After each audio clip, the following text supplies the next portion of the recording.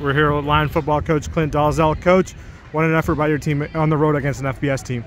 Yeah, we came out played, uh, started fast. Man, our defense man, played great all night long.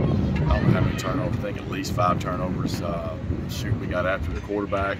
Offensively, we did some really good things. We moved the ball a bunch. We had like 16 first downs, which know, that's that's going to keep us in ball game. Things like that, just uh, disappointing in in that last drive, was there even a thought of going kicking for it, or was it always no, two always? two on the road. I'm, uh, I'm I've always been that way, and uh, every every venue I've coached in, I've always gone for two. Uh, on the road, especially in this kind of environment, uh, was definitely the right decision. We just, I wish I'd, you know, suggested a better play.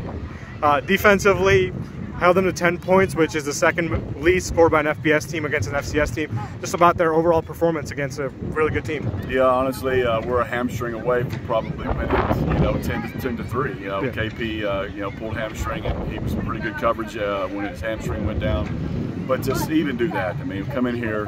Uh, I don't know if they took us lightly or whatever, but uh, we had two good weeks of practice and it showed tonight. Offensively, what do you think of Josh coming in, especially on that last drive, moving the ball with him and Reggie? Did a great Never. job. You know, um, back against the wall. We went uh, linked to the field for the most part, so uh, pleased with that. There's, there's, a lot of great things to take from this. Uh, I've had a few injuries tonight. Uh, we got to make sure those are not too serious, and I was pleased. Proud of my guys.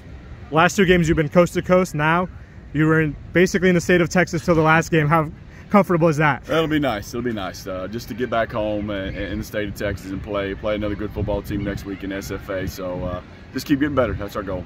Great. Thanks, Coach. You bet.